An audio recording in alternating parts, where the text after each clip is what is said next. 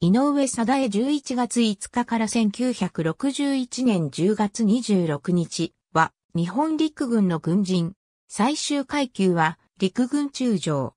熊本県出身。本籍は高知県。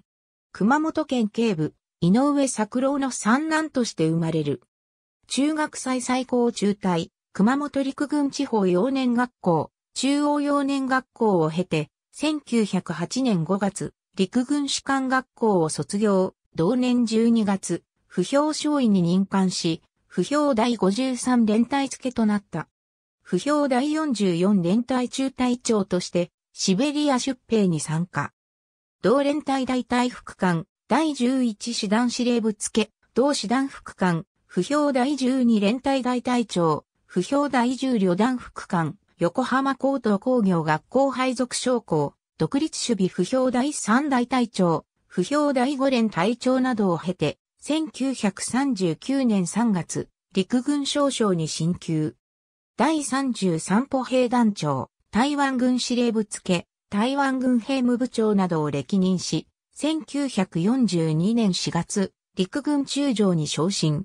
第69師団長として、中国、山西省方面で活動。1943年10月、第14師団長となり、満州に駐屯。しかし、南太平洋戦線の戦局悪化により1944年2月、南方に派遣され、パラオ諸島方面の守備を担当した。配下の不評、第2連隊は、ペリリュー島で、不評第59連隊第1大隊は、アンガール島において、米軍と激戦を行い全滅した。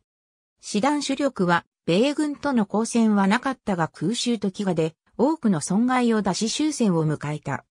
1946年3月に復員したが、GHQ より BC 級戦犯指定を受けて逮捕された。